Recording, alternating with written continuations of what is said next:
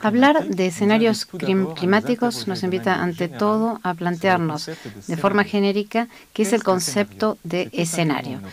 Un escenario es una representación de un futuro posible que se establece con una meta prospectiva.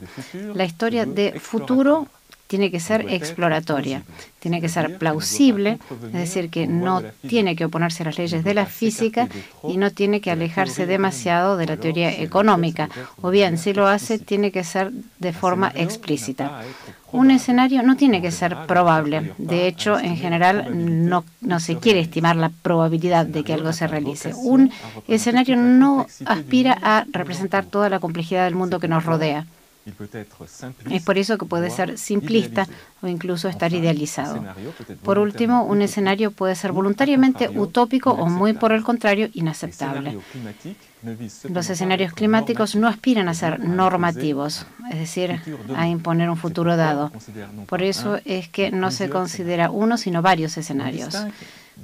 Se distinguen dos enfoques en la elaboración de los escenarios climáticos. En un primer enfoque, llamado secuencial, se parte de un escenario socioeconómico que luego se puede traducir en escenarios de emisiones de gases de efecto invernadero.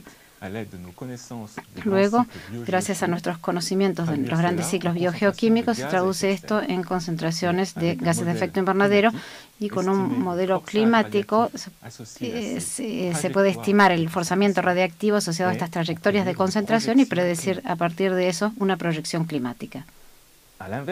Inversamente, un segundo enfoque que calificaría de inverso parte de un escenario de concentración de gases de efecto invernadero o de forzamiento radiativo a partir del cual se estima un escenario climático como antes, pero a partir del cual también es posible reconstituir a posteriori escenarios socioeconómicos que sean compatibles con el escenario de concentración de gases de efecto invernadero. Un escenario de forzamiento radiativo corresponde a varios escenarios socioeconómicos compatibles. Este enfoque fue el que se eligió en el quinto informe de evaluación del IPCC porque, por un lado, permite despolitizar el debate en cuanto a la elección del escenario socioeconómico y, por otra parte, porque permite más fácilmente considerar escenarios con políticas climáticas de reducción de las emisiones de gases de efecto invernadero. Aquí doy un ejemplo a los cuatro escenarios de RCP, que es la Representative Concentration Pathways, que se han utilizado para el quinto informe de evaluación del IPCC. El forzamiento radiativo varía entre valores de 2,6 y 8,5 watts por metros cuadrados en 2100, lo que da el nombre de este escenario RCP 2,6, 8,5 se trata de escenarios extremos con una cantidad de escenarios intermedios. Estos escenarios implican emisiones de dióxido de carbono representadas aquí a la izquierda. Para el escenario RCP 2,6, las emisiones tienen que llegar a una meseta rápidamente y luego declinar y desaparecer hacia el año 2080. Para el escenario RCP 8,5, las emisiones, muy por el contrario, siguen aumentando hasta llegar a un valor de 27 gigatoneladas de CO2 en 2100, es decir, tres veces más que las emisiones actuales. Por último, los escenarios se han prolongado más allá del siglo XXI de forma muy estilizada, que es lo que vemos aquí con eh, todos los eh, las curvas en esta gráfica. El dióxido de carbono no es el único gas de efecto invernadero que hay que predecir. Así que consideramos escenarios también para los otros gases de efecto invernadero, por ejemplo, el metano, el CH4 y el protóxido de nitrógeno N2O que vemos aquí. Los, eh, las zonas gris, grises cubren todos eh, los escenarios posibles sin políticas de atenuación de las emisiones.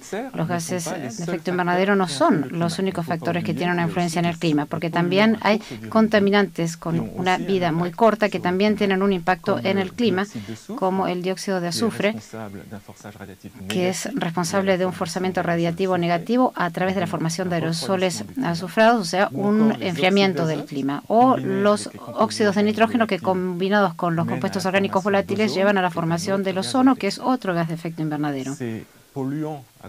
Estos contaminantes con una vida corta también tienen un efecto en la calidad del aire.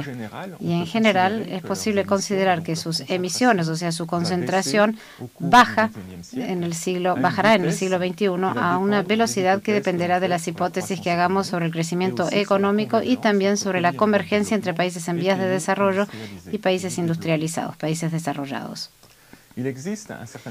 Existe una serie de parámetros importantes que permiten caracterizar estos escenarios socioeconómicos, como el consumo de energía primaria, el mix energético y dos otros parámetros que muestro aquí.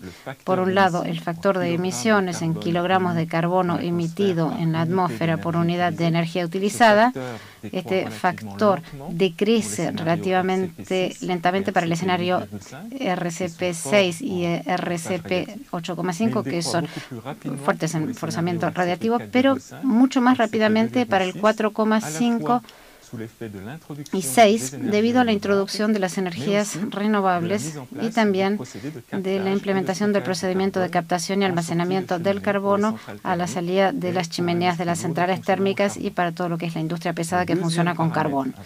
El segundo parámetro importante que vemos aquí a la derecha es la intensidad energética, o sea, la cantidad de energía necesaria para producir un dólar de Producto Interior Bruto, o sea, para producir riqueza. Este factor se reduce en todos los escenarios, pero también da cuenta del tipo de economía hacia el cual el escenario puede orientarse. En definitiva, un escenario climático requiere el conocimiento de las emisiones o de la concentración de gas de efecto invernadero, también un conocimiento de las emisiones o de la concentración de contaminantes de vida corta y también la evolución del eh, uso de los suelos en los continentes, que es otra condición en el límite necesaria para el modelo del clima. Si queremos traducir las proyecciones climáticas que se hicieron con un modelo de clima en proyecciones de impacto en el ecosistema o en la sociedad humana, hay que combinar estas proyecciones climáticas con datos socioeconómicos subyacentes que están en los escenarios eh, socioeconómicos como la población, su grado de urbanización, la estructura de las sociedades, la agricultura, la industria, etcétera. Existen una serie de eh, preguntas abiertas sobre estos escenarios climáticos. Por ejemplo, los escenarios extremos RCP 2,6 eh, u 8,5 son plausibles acaso? Pues bien, esto remite a parámetros o hipótesis que se hacen en los modelos socioeconómicos, como por ejemplo la tasa de eh, reducción de las emisiones. ¿Es posible alcanzar realmente reducción, una reducción de emisiones considerables por año? o la tasa de eh, rendimiento agrícola o la tasa de extracción de combustibles fósiles. Pero sobre todo hay que tener presente que los escenarios socioeconómicos no son independientes de los escenarios climáticos, habida cuenta de la retroacción que existe o que podría existir entre la evolución del clima y las políticas climáticas. Por ejemplo, si la sensibilidad del clima con respecto al efecto invernadero es grande, entonces las políticas climáticas serán más ambiciosas en el siglo XXI.